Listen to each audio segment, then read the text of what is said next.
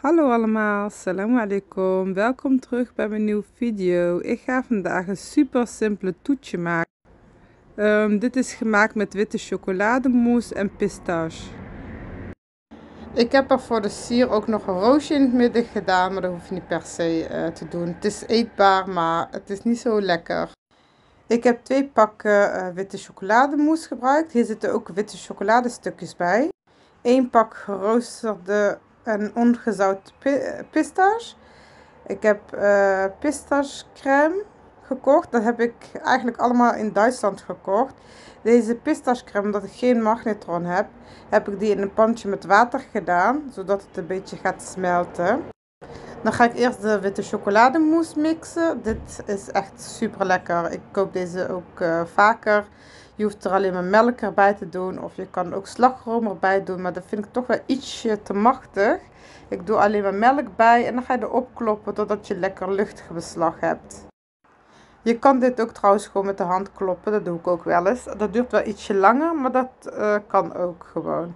En uh, jullie zien al dat het uh, dikker is. En kijk hoe luchtig dit is. Er zitten ook witte chocoladestukjes in. En dit heb ik dan in een zakje gevuld. Gewoon in een boterhamzakje. Want ik had geen spuitzakken meer. daar heb ik dat, ja, dan heb ik daar glaasjes mee gevuld. Ik heb hier zes glaasjes. Maar ik heb vijf glaasjes kunnen vullen.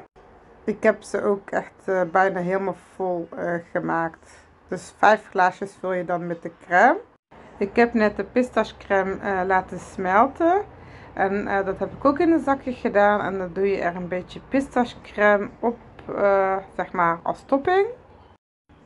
Eerst doe ik in alle glaasjes de pistachecrème. En daarna ga ik het mooi recht maken. Omdat de pistachecrème gesmolten is, kan je er ook ja, door met glaasje op de aanrecht te kloppen, dan wordt het ook mooi glad van boven.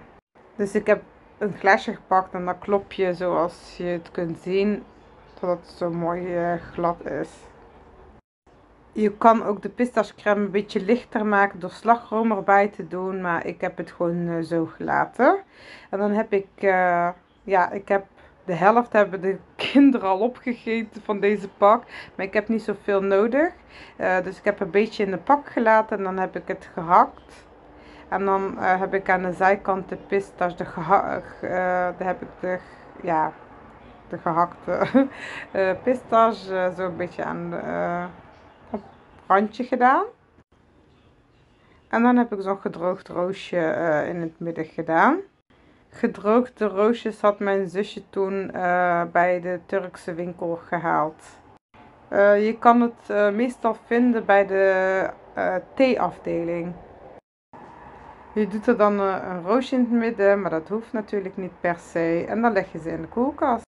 De crème hoeft niet op te stijven of iets, maar de pistache moet wel een beetje, ja, een beetje kouder worden, want hij is nog warm, omdat we het net hebben gesmolten.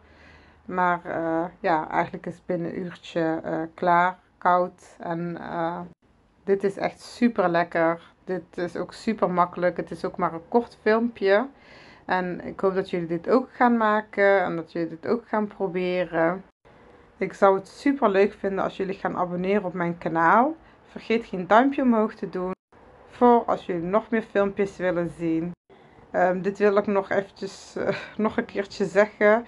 Dat uh, ja, ik heb alles in Duitsland gehaald. Ik woon ook in Duitsland, dus ik heb al die producten bij Rewe gehaald in Duitsland. Maar je kan die ook uh, ja, in andere winkels halen in Duitsland.